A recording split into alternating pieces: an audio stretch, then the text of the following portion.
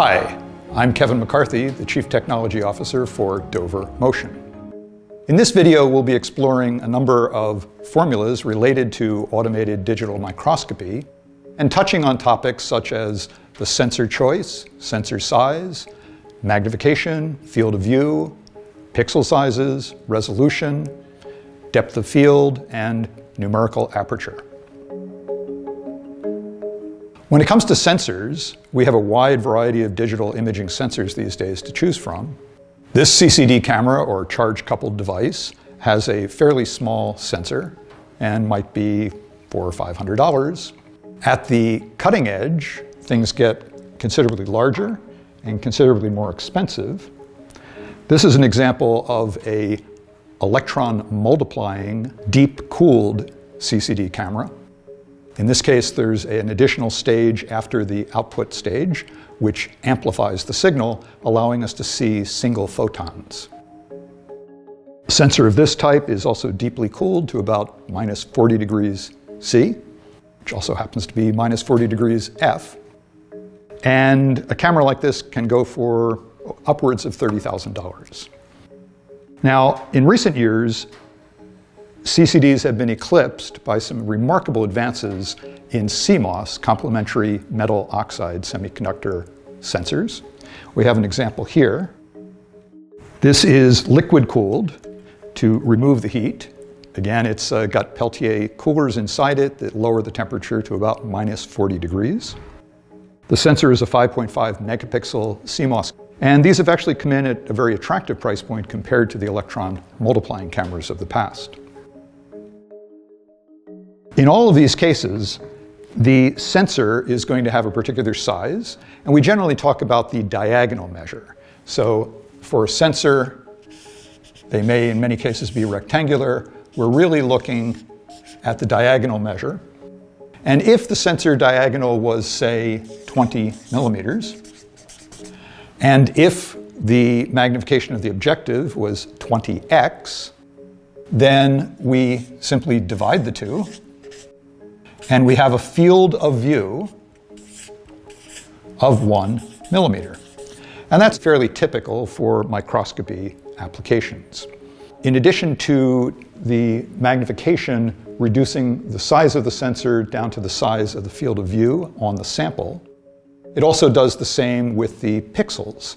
So for example, if we had four micron pixels, and a 40x objective, that would be 0.1 micron of geometric resolution, or 100 nanometers. But it turns out it isn't quite that simple. There's a property of light, which is that in addition to acting like a particle, the photon, it also has a wave property. And the wave nature of light leads to a condition called diffraction. And with diffraction, limits are set on resolution. And to better understand how that works, we need to explore another concept, which is called numerical aperture.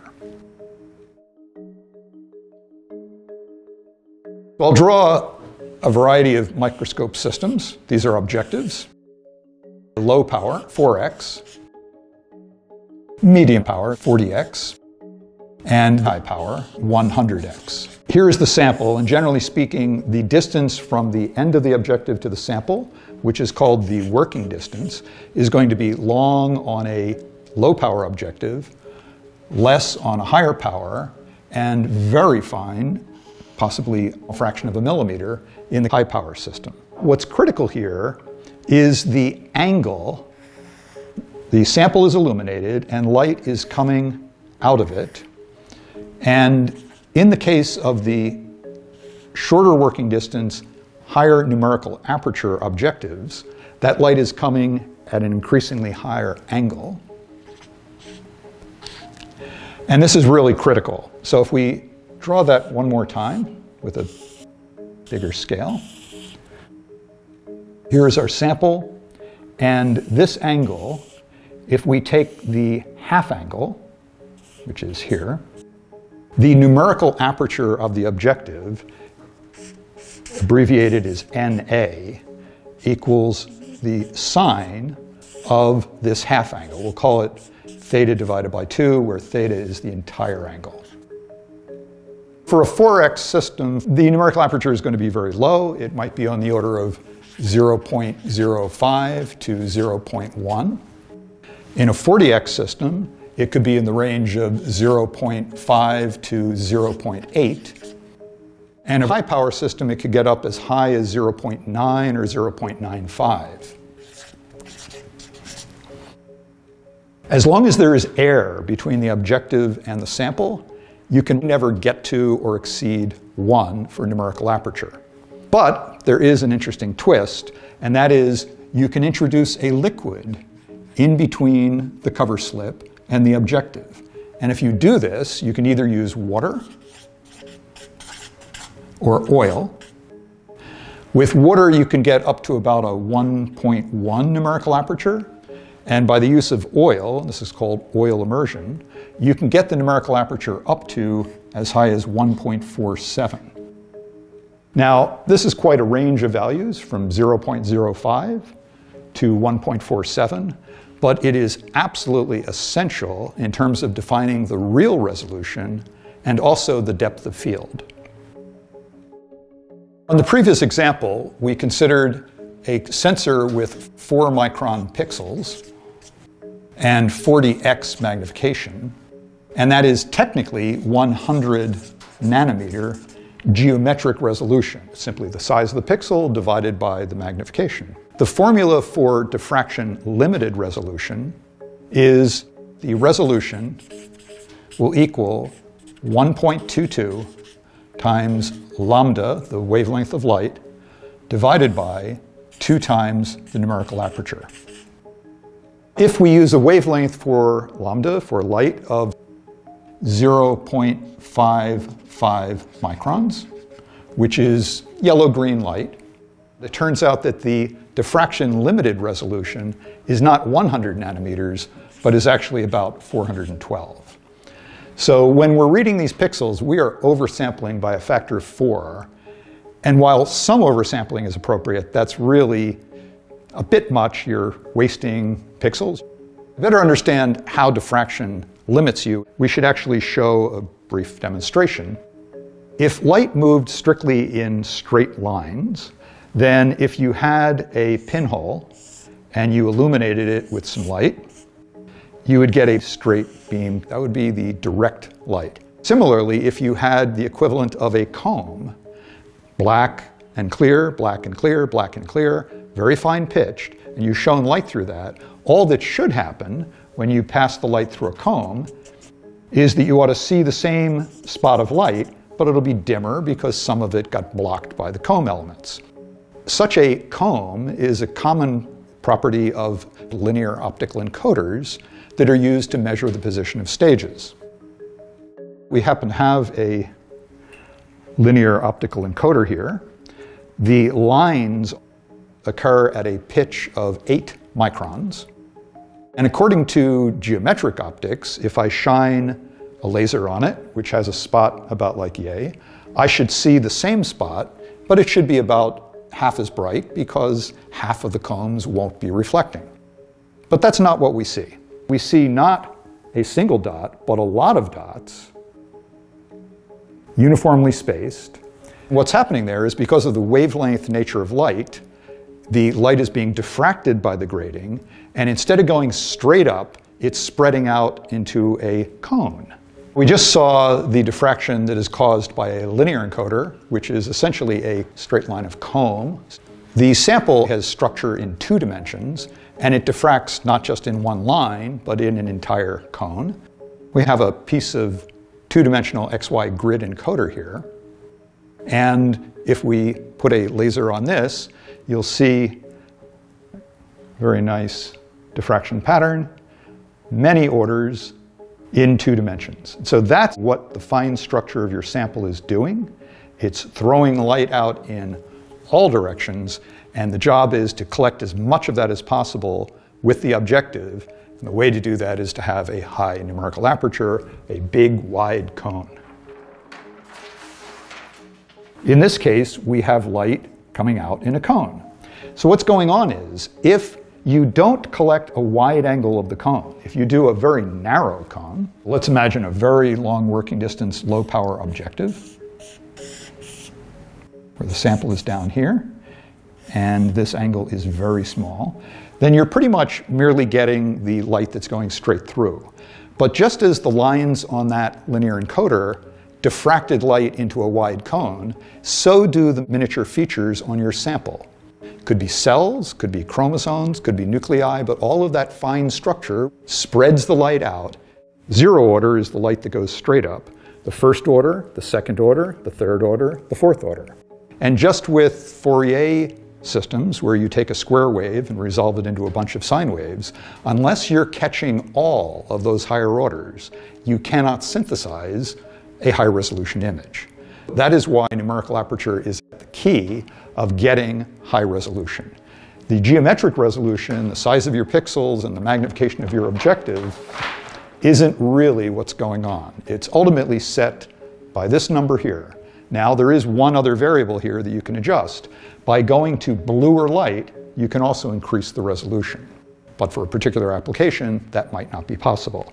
So generally speaking, for any given objective, you're going to want to pay to get the highest possible numerical aperture. Although, as we'll see in a moment, there is a slight downside to that. The other consequence of numerical aperture is that it directly relates to the depth of field. If we have an objective looking at a sample, there's a particular plane of perfect focus. And an open question is, how far above and below that plane can we be and still have everything fully resolved? The same thing occurs in traditional photography. If you go to a very small aperture, you'll increase your depth of field. As we go to a higher numerical aperture, we get higher resolution, but we do pay a bit of a price in that the depth of field becomes considerably smaller. So there's a distance above the sample plane and a distance below the sample plane. And anywhere within them, we have essentially perfect focus. As soon as we get outside of that boundary, we begin to blur the image. This is called the depth of field. The formula for the depth of field is lambda, the wavelength of light, times the square root of the index squared minus the numerical aperture squared divided by 2 times the numerical aperture squared. This is a nonlinear affair, and you really want a spreadsheet to calculate this. And we've got a very nice one that we'll be addressing in another video. So n is the refractive index of the material between the objective and the sample. In most cases, that's air, and n equals 1.00. When we go to higher numerical aperture and higher resolution for water, its refractive index is 1.33. And then finally, if we use a specialized immersion oil for microscopy, n will equal 1.52. For a low magnification objective such as a 4x or even a 10x, you could often have a depth of field of plus or minus 3 to 5 microns. In that case, if your sample is very flat, you may not need to focus at all, or rather focus once and just leave it. Generally speaking, samples vary in thickness, they vary in flatness, so we usually want to focus. So this would be a 4 to 10x. If we look at a 20x, which can be numerical aperture of, say, 0.6 to 0.8. The depth of field now drops, and it could be on the order of plus or minus 500 nanometers. As we move into high magnification with oil immersion at a numerical aperture of 1.47, the depth of field drops very dramatically, and the depth of field could be plus or minus 0.1 to 0.2 microns. That's a very tight tolerance. If you're down around 100 nanometers or 150 nanometers, very tiny changes in flatness of the sample or in the height of the sample, or in the precision of the guideways of the XY sample motion stage, make it tricky to stay in focus. That's why a continuous tracking laser autofocus with a high bandwidth focusing stage, such as the DOF5, is really the ideal way to maintain focus in these high numerical aperture, high resolution applications. As we've seen, if you want high resolution, you're going to need a high numerical aperture. And one of the consequences of that is a fairly small depth of field, which places an emphasis on the quality and performance of your focusing stage. These requirements led us to develop the DOF5, which stands for Dover Objective Focuser, 5 millimeter stroke, but as per the discussion we've just gone through, can also stand for depth of field. The resolution of this stage with 5 millimeters of stroke is 1 and 1 quarter nanometers. To put it in perspective, that is 1 hundred thousandth of a human hair, far below any depth of field of any optical system. The DOF5 can hit servo bandwidths of 400 to 500 hertz. And what this is key for is the ability to make focus corrections very quickly. We are able to make a 100 nanometer step in two and a half milliseconds and settle to plus or minus seven nanometers in that time. We'd invite you to learn more about the DOF5 on our website. We have a white paper there that's interesting. And we also have a white paper that covers a lot of what we've discussed in this and earlier videos. Feel free to reach out to us for any design assistance in your next optical imaging application.